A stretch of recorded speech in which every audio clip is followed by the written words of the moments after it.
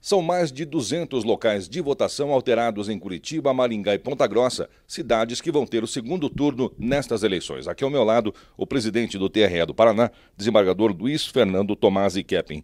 Desembargador, estes locais vão ser mudados para locais próximos da origem do eleitor?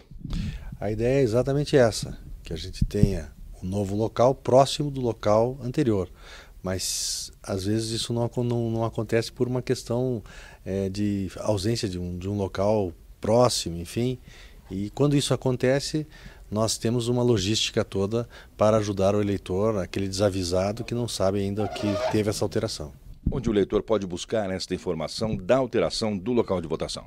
Ele pode buscar no site do Tribunal Superior Eleitoral, no site do Tribunal Regional Eleitoral ou pelo próprio telefone que está disponibilizado para atendimento ao eleitor aqui em todo o Paraná. Agora, toda esta operação provocou uma demanda não é, maior de investimentos para esta eleição. Sim, nós tivemos um acréscimo do custo da eleição. É, e esse acréscimo é da ordem de 3 milhões de reais porque envolve a correspondência que nós estamos encaminhando aos eleitores para notificá-los a respeito da mudança do local de votação, com, com o respectivo endereço, envolve toda uma logística de, de, de, análise de prédio, locais de votação, a, a, envolve a questão da preparação técnica dos locais, com eletricidade, enfim. Isso realmente impactou no custo da eleição.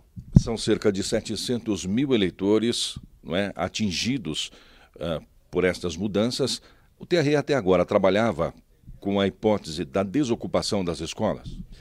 Olha, se tal viesse a acontecer até hoje pela manhã, nós ainda teríamos como reverter esse processo, mas agora, ainda que, tem, ainda que ocorra é, essa desocupação, os locais de votação serão aqueles que nós estamos a anunciar a partir de hoje, ou seja, os novos locais de votação é que serão utilizados pelo eleitor na próxima eleição em relação àqueles eleitores que votavam em escolas públicas estaduais.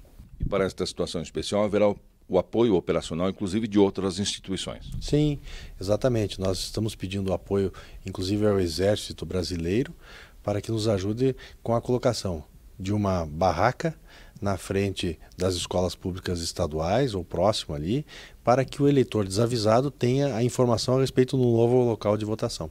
Tá certo, presidente. Obrigado pelas suas informações. De Curitiba, Marcelo Rissetti.